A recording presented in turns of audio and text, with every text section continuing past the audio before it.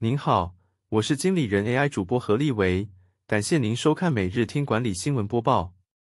今天带您重点关注的第一则新闻：日本唐吉诃德正式在台中 Tiger City 开设第一家分店，新店将引进全新品牌若英寿司，还有牛肉串、现煮食堂和美妆专区。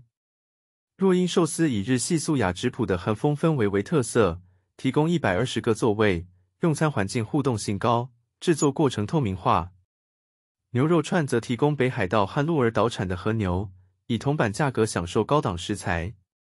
现煮食堂则提供各式日本现煮面食，让顾客能随时来碗热腾腾的泡面。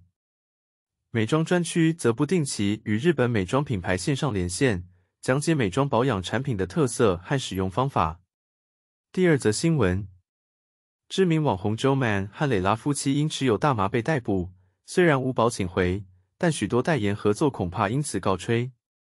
世纪奥美公关总经理张玉昌提醒，企业需要与争议性合作伙伴切割关系时，应遵循君子绝交、不出恶声的原则，不要再捅对方一刀，因为谴责对方无法抹杀合作的事实。建议企业清楚表明自身理念与价值观，强调必须终止合作关系，并清除与当事人相关的图档或连结。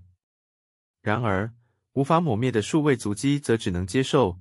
重要的是表达立场，并不否认过去的判断与决定。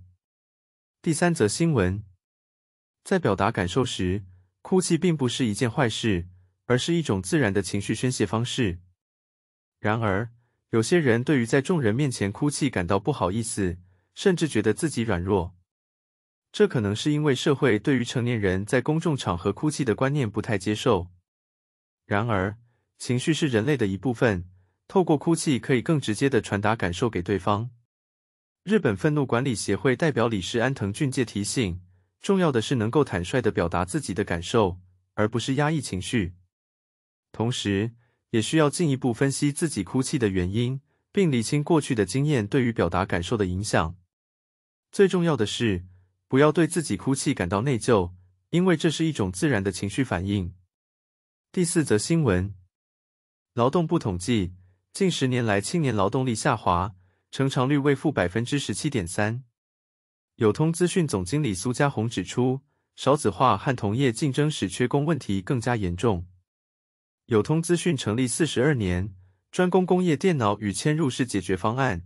二零二三年营收预计达一百六十一点九亿，年增百分之二十二。苏家宏表示，尽管今年订单减少，但整体仍然缺人。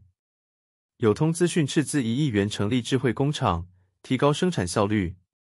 智慧工厂导入自动仓储系统，提高资讯正确性与及时性，并降低学习成本。智慧工厂的运营使制造处人力增加百分之二十八，产能提升一点八倍。友通资讯也通过奖惩制度和福利提升员工满意度和留任率。他们设置职能与级别，并鼓励员工推荐人才。推荐人可获得奖金，有通资讯也增加组织福利，像是提供宽敞的女厕和特休假。感谢您收听，也推荐您订阅经理人电子报，我们会将每日 AI 播报的文章寄送到您的信箱。再次感谢您，祝您有个美好的一天。